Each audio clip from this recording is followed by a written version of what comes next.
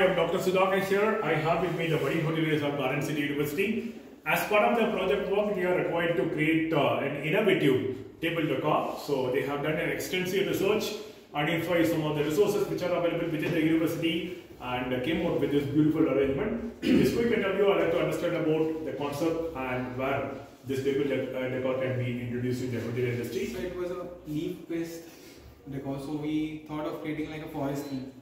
Fantastic. This Can you- can be done in the rest- specialty restaurants. Alright, fantastic. Can you uh, explain how the decor is planned? You have taken a different uh, leaves, and I could see a good uh, combination in terms of the uh, purple, green, and you have used some of the uh, uh, uh, dry leaves like as well. Yeah. Oh, what is the name of this uh, uh, decor?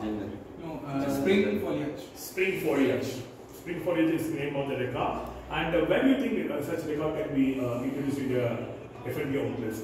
Uh, can it be introduced in a uh, uh, specialty Specialty- restaurant or fine Specialty restaurant goes really well. And like nowadays, making uses. Yes. Also Uh, maybe in resorts, like in forest. especially in resorts, yes, exactly.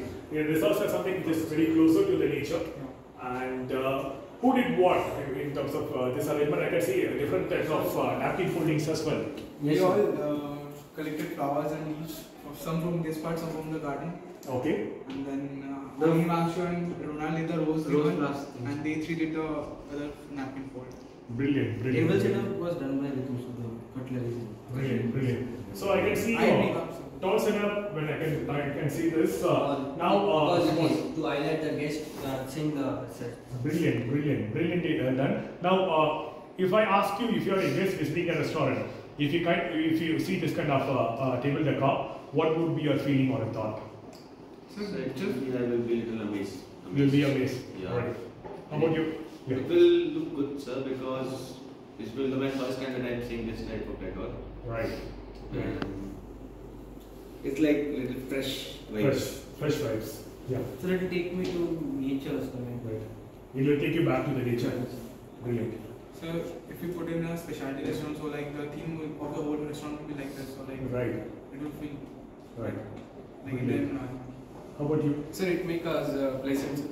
You'll it will make you pleasant. How about you? Wonderful decoration of the set. sir. Beautiful. How about you, Rima? I'm sure you will be uh, definitely feeling uh, relaxed as uh, uh, a student, as a regular visitor of various uh, restaurants here in Bangalore city. I'm sure you would have seen a lot of restaurants. Is there any restaurant which have uh, this kind of uh, floral arrangement?